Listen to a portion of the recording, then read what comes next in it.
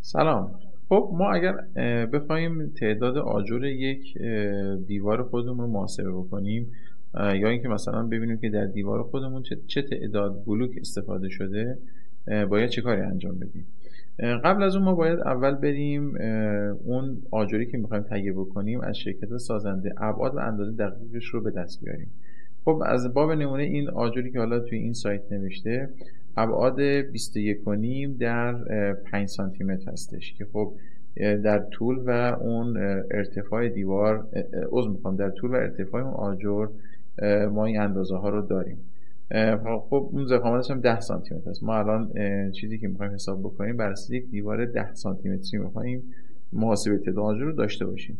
اینجا فقط یه نکته دقت بکنید. میگه که ما یک اندازه بندکشی هم تو دیوار داریم. خب ما رو هم تو پشت سرهنگ رو هم قرار نمیدیم.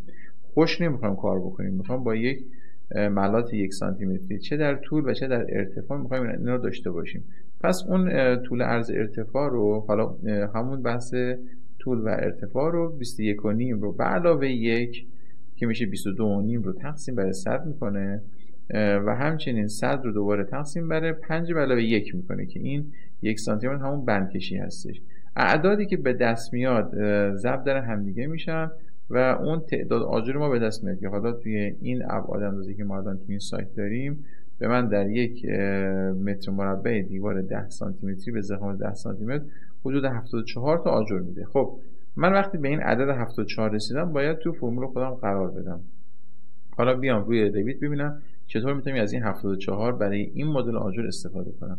خب برای نمونه من اول یک دیوار 10 سانتی متری یک متر در یک متر می‌کشم بذارید من بیام اینجا. خب. یه دیوار ده یک متر.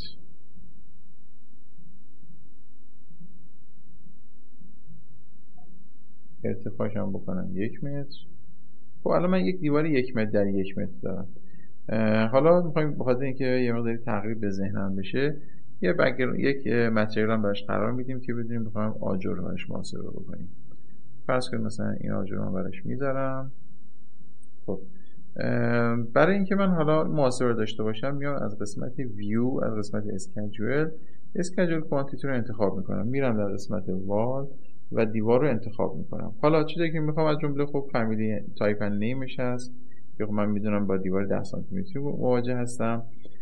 بحث طول و حالا همین ضخامتش رو داشته باشم طولش هم داشته باشم و خب از همین مهمتر بحث area هست. من با area بیشتر کار دارم. area رو تو کار خودم داشته باشم. خب من الان اینجا این فرمول در ابتدای کار این جدول در ابتدای کار خودم دارم که می‌خوام یک فرمول نویسی برای این داشته باشم. میگم از قسمت field از قسمت function یک فرمولی رو می‌خوام بر اساس area برای من محاسبه کنه. من میگم تعداد آجر. تعداد آجر. خب ما اریا رو ضرب داره.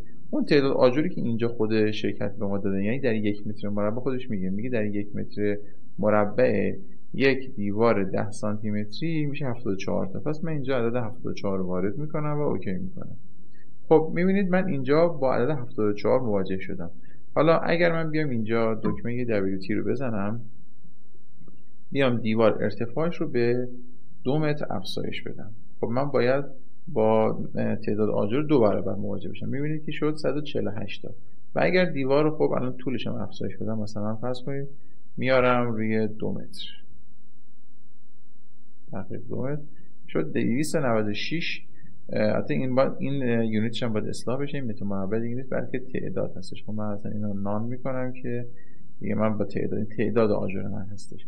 خب الان ببینیم این 296 تا آیا اگر من مثلا در تو کار بذارم یا پنجره بذارم کم میشه یا نه؟ خب قاعدتا باید چون یک نرم افزار بیایم هستیم این کار اتفاق افتاد من اگه پنجره کار بذارم خب می‌بینید 278 تا شد. اگر در رو به کار ببرم حالا بذارید من دیواری کم باید بزرگتر کنم. دیوار رو میام ارتفاعش می‌برم بالاتر. خب مثلا اینم الان 981 آجر ما تو کار داریم. در, در لحظه همین رو تغییر می‌کنه.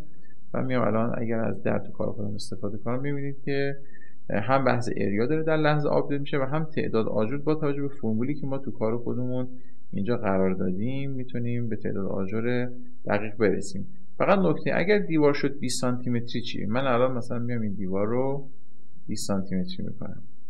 نیاز به 200 میلی متری خب اینجا تأثیری نمی‌ذاره بخاطر این فرمول ما الان باید بر دیوار 20 سانتی متری در نظر گرفته بشه که اگه دقت بکنید اینجا نوشته میگه برای دیوار 20 سانتی متری عدد میشه 148 یا من میام تو فرمول خودم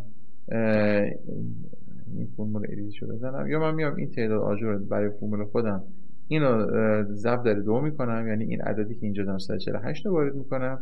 یا چون الان با دیوار 20 سانتی متری طرف هستم میام این طرفینش رو پرانتز می‌ذارم ضرب در دو می‌کنم. چون من با اصطلاحا دو تا دیوار 10 سانتی متری مواجه هستم که عدد خود به خود دو برابر میشه و خب خودش اصلاح می‌کنه. اگر با فرض کنید دیوار 25 سانتی متری مواجه شدم ببینید مثلا دیوار 25 سانتی متری اینجا من تو فرمولم اون ضریب رو ضریب در دو نیم می‌کنم.